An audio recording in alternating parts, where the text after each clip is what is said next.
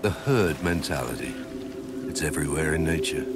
What drives this primal urge to use the most played ball instead of the superior one? You can't beat the pack by playing the same ball as the pack.